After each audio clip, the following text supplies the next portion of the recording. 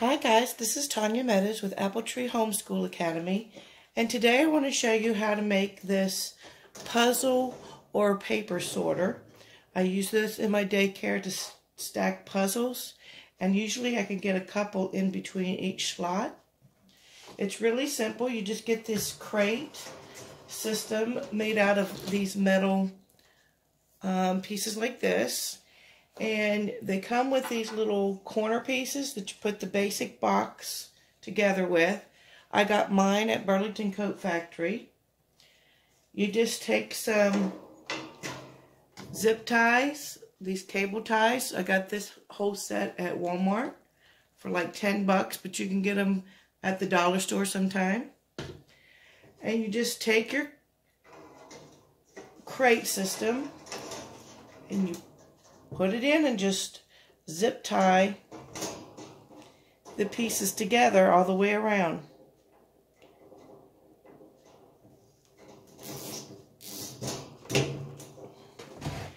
You take a pair of scissors, just clip off the edge.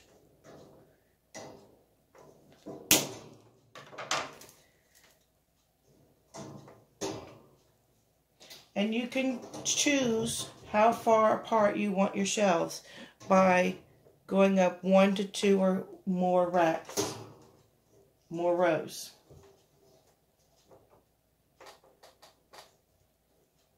It's just as simple as that. Pull the zip tie, trim it.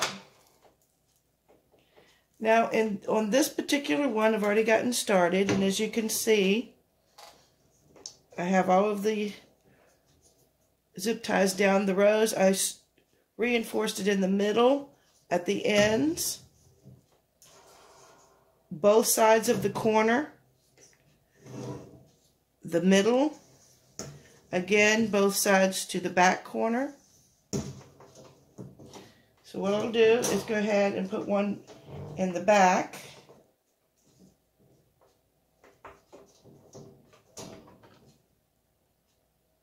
Like this. Get a hold of that zip tie there.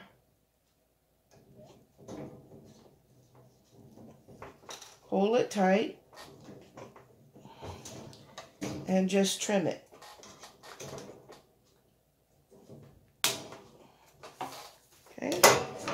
And again, I'm going to take a zip tie and reinforce the middle shelf. Somehow that one didn't stay. So let's do that one again.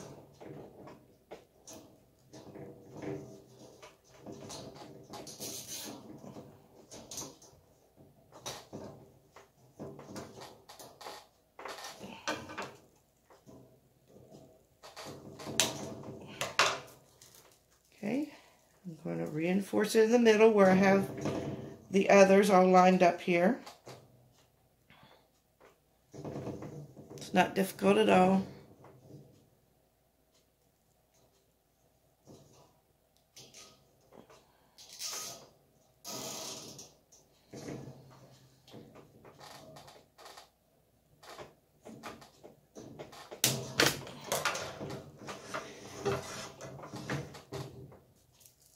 Reinforce the middle pieces on either side and the back.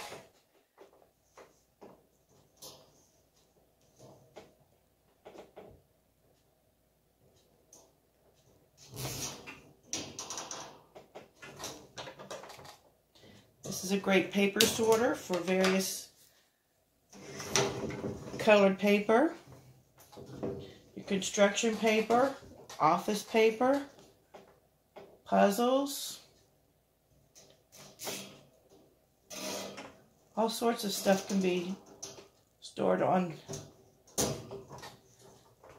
on these shelves.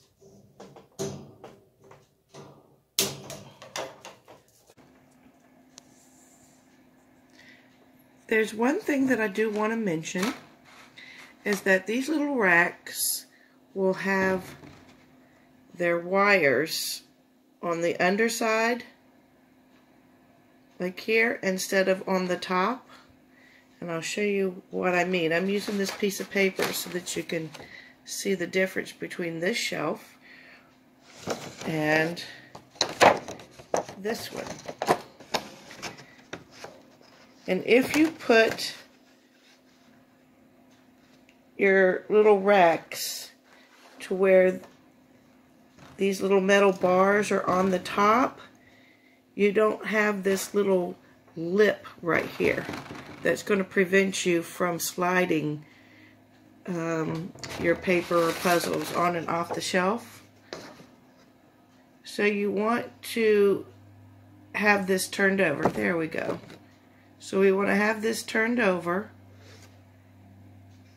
to look like this, where the racks, the little bars are on the top of this outside lip. Because otherwise this is going to prevent papers from sliding on and off. Let me see if I can use this. See, as, as this has this little lip preventing this from sliding right off, it has to go up over that edge. The one below it does not do that. It just slides right off. See? That's because these little bars, it's because these little bars right here are on the top edge. So that's one suggestion I would give for you.